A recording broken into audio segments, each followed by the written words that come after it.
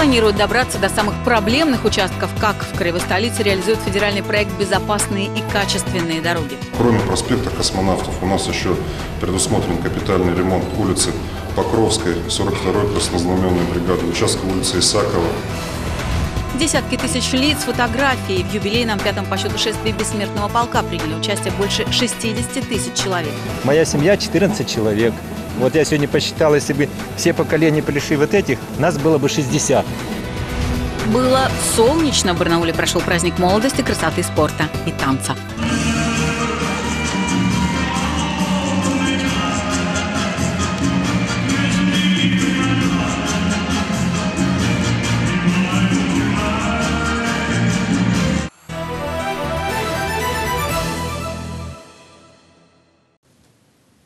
Добрый вечер. В студии Татьяна Голубева. Некоторые темы уходящей недели мы сегодня обсудим с нашей гостьей Любовью Березиной, директором Алтайского краевого театра драмы имени Шукшина. Здравствуйте, Любовь Михайловна. Рада вас видеть. Татьяна. Взаимно. Ну, Театральный сезон 95-й, юбилейный по счету завершается. Все ли удалось реализовать, что планировали? Вы знаете, к счастью, да. И более чем. Э, Есть вещи, которые мы не планировали, они получились сверхплана, это самостоятельная работа актеров. Э, Этот юбилейный сезон мы решили сделать э, сезоном русской классики. И нам это удалось, и не только классика, но и современная драматургия русская у нас присутствует, российская, будем так говорить.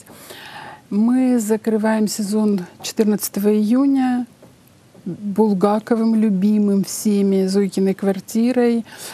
Э, Уже со вчерашнего дня у нас э, взял старт э, Парад премьер. парад премьер. Э, Это шестой год мы проводим парад премьер. Э, Мы знакомим зрителей со всеми спектаклями, которые э, выпущены были в этом сезоне.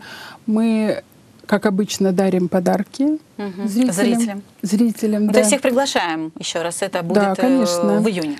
Или Нет. на, пре- на парад премьер Парад приглашаем? премьер мы А, вот, приглашаем мгм. э, у нас вот с 11 по 14, а 14 июня мы закроем театральный сезон. Любовь Михайловна, а какой премьер? Вот вы сказали, что было огромное количество премьеры, плюс были постановки ваших актеров, самостоятельная режиссерские работа. работы, да. А какую премьеру считаете самой удачной в этом году? Знаете, это очень провокационный вопрос. Ну, потому чтобы что- никого не обидеть, вы имеете в виду, Чтобы да? никого не обидеть, ну, да. по-вашему, А, хотя, наверное, вы субъективны будете. Э, Нет, я в любом случае субъективна, Ну да. потому что человек, один человек не может быть объективным. Конечно. Он все равно субъект. Э, Вы знаете, я считаю, что эм, в этом году провалов не было, и это самое главное. И каждый спектакль по-своему нравится. Кому-то нравится один, кому-то нравится другой. Э, Я считаю, что замечательный спектакль «Барышня-крестьянка» по Пушкину, которым мы открыли этот юбилейный сезон, потому что там совершенно другой Пушкин, он такой ироничный э, спектакль. И там весь курс э, Института культуры, третий курс под руководством Олега. Пермякова, они в полном составе участвуют в этом спектакле. Спектакль, который поставил педагог этого курса «Земля Эльзы», по современной пьесе Ярославы Пулинович опять весь курс принимает участие. У нас, в общем, такая уже наметка есть, им еще год учиться, мы на них смотрим. И было бы, конечно, здорово, если бы вот так взять и весь курс... Целым нам- курсом? Целым курсом бы нам А, его... Хорошо, но мы сейчас уже перейдем к, э, к другой теме. Я хотела бы спросить вот э, этот эксперимент, если его можно назвать экспериментом, когда ваши актеры становятся режиссерами, он продолжится в следующем году? Конечно, я очень на это надеюсь, потому что, понимаете, это же все-таки самостоятельные работы актерские. Я не могу вызвать актрису или актера и сказать, так, ты ставишь спектакль. Это все внеплановое. Но я знаю, что там страсти бурлят, кипят. Ну, понятно, Э, если она сделала, почему я не могу? Да, почему я не могу? Поэтому ребята, я думаю, что этим занимаются. Мы, к сожалению, не можем взять все работы. У нас были такие прецеденты, когда эм, актер или актриса готовит спектакль. Мы художественным советом смотрим и говорим, извините, у вас не получилось. Ну, в общем, шанс есть. Есть. Ну, а мы перейдем к другой теме, главной теме уходящей недели – празднование в Барнауле 72-й годовщины со дня Великой Победы. Несмотря на прохладную погоду, 9 мая в Барнауле состоялось все, что планировали. К примеру, больше 60 тысяч жителей краевой столицы приняли участие в шествии бессмертного полка, чем еще запомнился барнаульцам нынешний праздник. Расскажет Илья Кочетков. Открыл празднование 72-й годовщины Победы, как и полагается, смотр барнаульского гарнизона. Чеканя шаг, прошел маршем цвет местных защитников Отечества. Тем временем барнаульцы с нетерпением ждали момента, когда можно будет встать в строй другого полка бессмертного, чтобы помочь поучаствовать в шествии тем, кто сам не может, но достоин. Это мой дедушка Зырянов Кондрат Сидорович. Прошел всю войну, вернулся домой. Кстати, потом он проработал очень много лет в железнодорожном райсполкоме, за торговым отделом. Может быть, кто-то еще, вдруг кто-нибудь еще и помнит моего любимого деду Кондрашу. Краевой куратор бессмертного полка Екатерина Читошникова уверена, значительная часть успеха акции в том, что после 9 мая она, по сути, не заканчивается. Люди продолжают интересоваться, кем были их предки, обращаются к архивам и ищут, и, несмотря на то, что прошло уже 72 года, находят удивительные факты. Так, она сама сейчас изучает мемуары, которые оставили после себя два ее дедушки. Вот, например, Колесник Лука Гаврилович, он 19 июня 41 года женился на бабушке, они познакомились в Мурманске. 22 он ее отправил уже в эвакуацию в Барнаул и сам был на фронте и э, описывал в этой книге, в автобиографии, как он под э, бомбежками, там, в блиндаже, на поле, там, э, в общем-то, писал ей письма. По подсчетам организаторов, в этом году в строй встало около 62 тысяч участников, больше, чем в предыдущие годы. Десятки тысяч лиц, фотографий, непростых, порой трагичных судеб. Свои концертные площадки организовали в каждом районе города, так что выбор, куда пойти, у горожан был большим. Лишь в одном месте людской поток не иссякал до поздней ночи – на мемориале славы. Тысячи и тысячи барнаульцев несли сюда цветы, отдавая дань памяти тем, кто уже не придет никогда. Илья Кочетков, Александр Андропов, информационный канал «Город». Ну, так случилось, потому что 9 мая только-только да. недавно было. Я интересуюсь у всех своих гостей, которые приходят э, на субботнюю программу. Э, есть ли в их семье те, с чьими портретами они бы встали в э, полк бессмертного полка, или они вставали, может быть, они ежегодно встают на протяжении пяти лет? Вот есть ли в вашей семье такие люди, Любовь да. В нашей семье такие люди есть. У нас, к счастью, еще один из маминых братьев жив, Николай угу. Степанович Зайцев, 24 -го года рождения он э, воевал. Совсем юный был, я думаю, да, совсем когда он юный, пошел? Он совсем юный э, вывел из окружения какое-то количество там солдат. У него орден Александра Невского, орден Ленина, орден Красной Звезды. Ничего То себе. есть, в общем, угу. такой заслуженный дядя у нас есть. Э, и у нас уже второй год все наши юные родственники, начиная от внуков двухлетних, идут э, с портретами, потому что и папины братья, и мамины братья, все воевали, и, и, в общем, это здорово, это праздник, это, это такая гордость. Ну, то есть, а вы лично... А я лично работаю. А вы, а вы лично работаете, то есть вы с удовольствием бы встали Конечно, конечно, с, с удовольствием, но знаете, когда смотришь вот эти кадры, вот просто хочется от гордости просто встать и, и, и, и стоять и отдать дань памяти и уважения не только тем, кто воевал и погиб, а тем, кто сегодня вот это вот продолжает дело. Я говорю, что человек, который это придумал, придумал. Это просто ну, супер гениальный человек, он молодец. Ну да, если только в Барнауле 60 тысяч практически вышло, если говорить о других городах, это конечно, же миллионы, миллионы конечно. людей. Ну, я не знаю, сейчас, наверное, глупо вопрос задавать, как в вашей семье отмечают 9 мая, потому что вы так на работе отмечаете, да? 9 мая? Э, ну, 9 мая э, вообще это всегда, конечно, праздник, а, а для меня это вдвойне праздник, потому что, ну, получается так, что у меня работа связана, э, все праздники — это праздники, и это работа. Э, но э, самое важное, вот это еще родителями привито, обязательно нужно посмотреть парад. Угу. И обязательно... Московский. Московский, конечно. И обязательно минуту молчания. Угу. Вспомнить всех а особая гордость еще э, со школьных времен, что все-таки стихи Рождественского всегда звучат. Угу. И это наш земляк. Я всегда всем рассказывала, где бы я ни была, я говорила, это наш алтайский поэт, это здорово. Ну, понятно. Спасибо вам большое. А мы перейдем к другой теме. На барнаульских улицах медленно, но верно начал появляться свежий асфальт. Напомним, в рамках проекта «Безопасные и качественные дороги» в этом году в нашем городе отремонтируют 25 магистралей. Работы ведутся уже на 13. Глава администрации Барнаула Сергей Дугин провел очередное рабочее совещание, на этот раз в Ленинском районе. На встречу пригласили и журналистов. Изначально планировали показать, как идет ремонт на одном из участков проспекта Космонавтов, но демонстрации помешал дождь. Реализацию проекта «Безопасные дороги» продолжили обсуждать под крышей расположенного по соседству завода. Кстати, только в Ленинском районе, по словам его главы Александра Михалдыкина, в этом году дорожники капитально отремонтируют более 130 тысяч квадратных метров асфальта. Планируют добраться до самых проблемных участков. Кроме проспекта Космонавтов у нас еще предусмотрен капитальный ремонт улицы Покровской, 42-й краснознаменной бригады, участка улицы Исакова от Малахова до 2 северо-западной э, Веры Кощеевой, участка улицы Гущина. Напомним, средства на реализацию федерального проекта были выделены солидные около 2 миллиардов рублей из федерального, регионального и городского бюджетов. Градоначальник пообещал журналистам, что он лично будет контролировать ремонт и строительство дорог. Основная цель вот этого проекта – это приведение в соответствие, конечно же, городских дорог, я имею в виду асфальтного покрытия, плюс установка светофорных объектов, плюс установка камер видео и фотофиксации, и, конечно, дорожные знаки. А, Любовь Михайловна, ну вот мы сейчас посмотрели, какие дороги будут отремонтированы, и, и ремонт уже начался. Вот я, как начинающий автомобилист, просто очень рада, потому что едешь по новому асфальту, как не едешь, а даже Париж, наверное, да? Ну, да. Вот. А вот вы, я знаю, что вы живете в Новоалтайске. Да.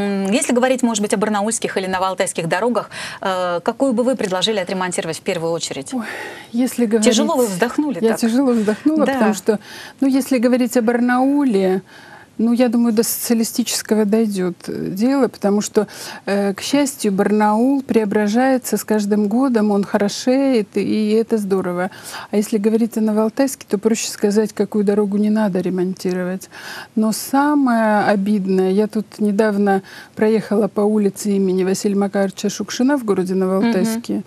Мне стало так грустно. А вообще она далеко где-то от вас, я так поняла, и вы обычно по ней не ездите Я обычно случайно. по ней не езжу, да. Мгм. Вот так, так случилось. И, и вообще эта грусть, грусть, печаль меня обуяла.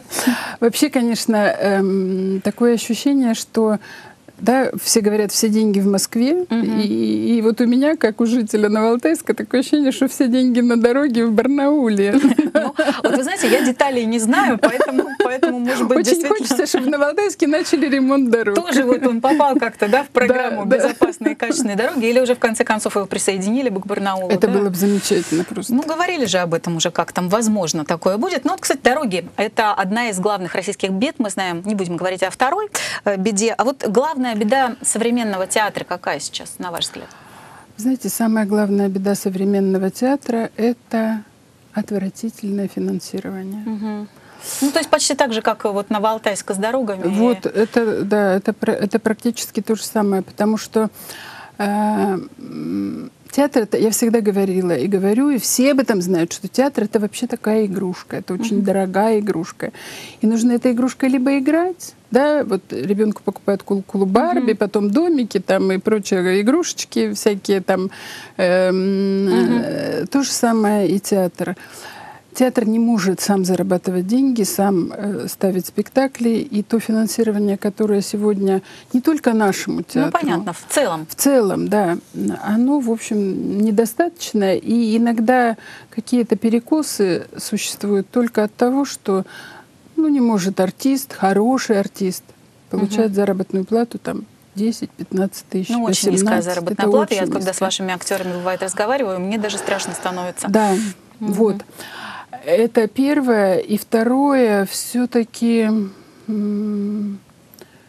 вот та актерская школа, она немножко уходит. Я не знаю, то ли образование другое дается, то ли педагоги вот те знаменитые ушли. Э, Приходят актеры, э, приходят ребята, которые что называется, поцелованы Богом. Они очень талантливые ребята, но они плохо обучены. Которых еще учить и учить. Которых еще учить И этим не учить. должен заниматься театр, как бы, да? Ну, а театр этим занимается, потому что а куда деваться-то все равно же Ну, вы нужно. знаете, мне кажется, в журналистике такая же ситуация на самом деле, когда люди приходят, пока они не начнут выезжать куда-то на съемки, мне кажется, они не станут хорошими журналистами. Спасибо, Любовь Михайловна. А мы теперь переходим вновь к другой теме. Самый крупный танцевальный фестиваль Сибири состоялся в Барнауле. Студия танца Лариса организовала организовала «Солнечный бал» уже восьмой раз. Ежегодно в программе фестиваля появляются новые номинации, а в составе жюри звезды российских танцевальных шоу. На этот раз судейскую коллегию возглавил финалист телепроекта «Танцы» на ТНТ Виталий Савченко. Наблюдал за происходящим и слегка пританцовывала за кадром Галина Юмашева.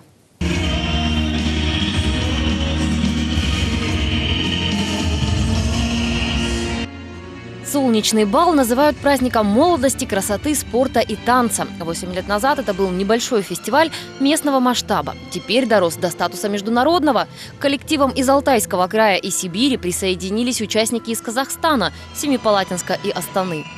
То есть мы разрастаемся вширь, но при этом оставляем нишу. Вот у нас шоу на основе бальной хореографии, и на самом деле этим мы уникальны, потому что в Сибири нет ни одного такого фестиваля, который именно выдерживал бы вот эту нишу.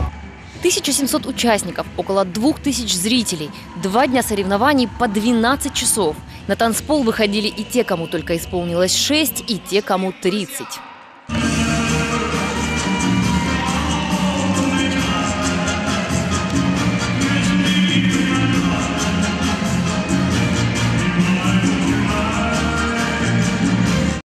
В этом году впервые на фестивале ввели номинацию «Инваданс». На паркете танцевали 10 пар на инвалидных колясках. В их числе и Татьяна. Она 6 лет назад получила травму позвоночника и оказалась прикована к креслу. Говорит, занятия танцами и участие в конкурсе ее очень вдохновляют. Рост, э, новые амбиции, скажем так. Хочется дальше двигаться, работать, еще что-то новое ставить. Оценивали старания участников около 30 судей. Возглавил жюри Виталий Савченко. Еще совсем недавно он сам был участником танцевального конкурса. Поэтому к хореографическим коллективам отнесся с уважением и строго их не судил. Я оцениваю с точки зрения эмоций и радости. Во-первых, я, когда сидел в жюри, слышу, что очень активно люди поддерживают друг друга. Это не всегда на фестивалях встречается. Здесь я прям чувствую, как все переживают, как все поддерживают друг друга. Восьмой праздник молодости, красоты, спорта и танца состоялся. Кубки разъехались по всей Сибири. Но главное, говорят участники, не столько победа, сколько возможность посоревноваться, оценить свой уровень и получить толчок для роста. Галин Юмашева, Александр Антропов, информационный канал «Город». Ну вот нынче фестиваль «Солнечный бал» да. великолепный был. Из Казахстана приехали ребята, и в следующем году планируют географию расширить. Но вот я тоже знаю, что по завершении сезона Краевой драматический театр, труппа точнее ваша, не уходит на заслуженный отдых, да. как говорится, а поедут они на гастроли. Плюс ваше здание тоже не будет пустовать. Расскажите немножко да. об этом. У нас июнь будет в этом году очень... Именно июнь. Июнь, угу. да. Мы еще не закрыв э, сезон, мы уезжаем на гастроли. Мы выиграли губернаторский грант угу. э, в рамках 80 десятилетия края мы едем в город Иркутск. Надолго? На пять дней. Мы покажем пять спектаклей, мы везем четыре постановки и, и, и пять дней там будем работать. А в это время с 5 по 9 сюда приезжает Иркутский академический театр драмы имени Хлопкова. Угу. Извините.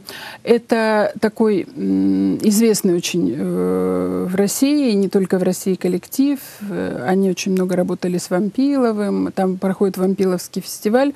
Они привозят свои лучшие спектакли. И я думаю, что зрителям с 5 по 9 июня будет очень интересно посмотреть на другой театр, а мы себя любимых покажем. Угу. Дальше в рамках большие гастроли э, Федерального центра Министерства культуры они нас очень полюбили, видимо, потому что зрители у нас очень приветливые. Угу. И приезжает московский ТЮЗ. Ну, Это знаменитые Генриетта Иновская, Камагин, Казбархин, художник известный очень.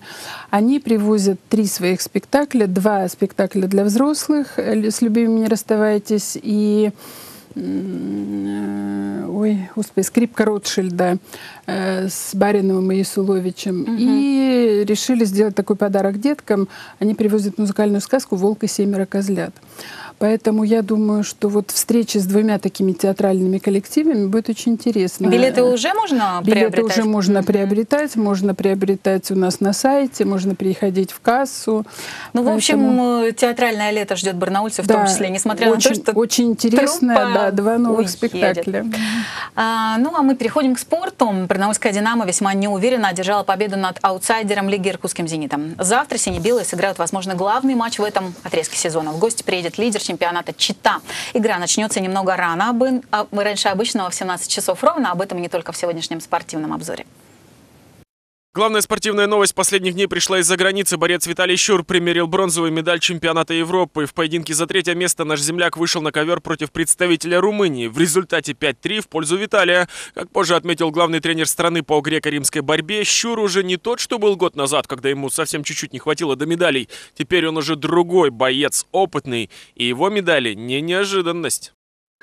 Без медалей рискуют остаться девушки из клуба по хоккею на траве «Коммунальщик». После неудачных стартовых поединков в Волгодонске желто-зеленые продолжили серию поражений в Санкт-Петербурге. Разжиться ценными баллами было возможно в первой встрече. Проигрывая метрострою 0-2, команда Владимира Кобзева все же сумела вернуться в игру. Дубль на личном счету Анастасии Мирошниковой. Вот только зацепиться за ничью не удалось. В самой концовке хозяйки поля все же протолкнули мяч, который в итоге стал победным. В повторной игре, вновь проигрывая уже после первого тайма 0-2, желто-зеленые в итоге так и не нашли ни сил, ни эмоций для того, чтобы спасти этот матч. До финального свистка счет на табло так и не изменился.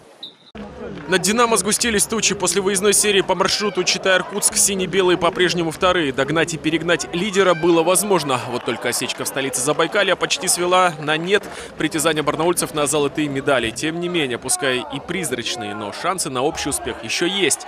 Поражение или ничья в домашнем матче против иркутского «Зенита» могла окончательно убить интригу. «Динамовцы» после пропущенного гола буквально на зубах все же выгрызли победу. Финальный свисток застал команды при счете 2-1 в пользу хозяев поля. Впереди коллектив из столицы Забайкалья. Кирилл Политов, информационный канал «Город». А, Любовь Михайловна, чтобы руководить Большим краевым театром, мне кажется, нужны силы. Где вы их черпаете? Может быть, в спорте, может, еще где-то? Вы знаете, все-таки, э, ну, спортсменка из меня никакая, Ну, понятно. честно говоря. А вот эм, путешествовать я очень люблю. Я люблю. По стране или... Я люблю наш горный Алтай и стараюсь путешествовать за границей, потому что у нас все-таки как-то не очень, не Комфортно, очень еще комфортно, да. А, Хотя в горном сегодня замечательно, мне очень нравится.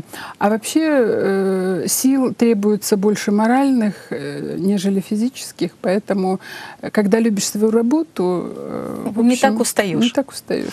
А, Ну и вопрос у нас сейчас от телезрителя. Максим Ковалев, ну, очень интересный вопрос, мне кажется, спрашивает. Если вдруг я к 40 годам почувствовала талант в себе и хочу играть на сцене, можно как-то попасть к вам? Ну, роль без слов сыграть, какую-то эпизодическую?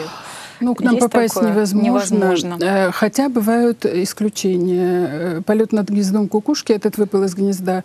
Мы искали вот человека фактурного и нашли, и он замечательно играл э, роль. Человек, который вообще никогда даже не мечтал, он волейболист бывший, два с лишним метра, такой большой дяденька. Вот его режиссер выбрал, и он так здорово попал. Поэтому, ну вот если судьба, то попадет. А если, Если следить, так сказать, Да. за тем, вдруг Да. вы кого-то Да, мы позовете.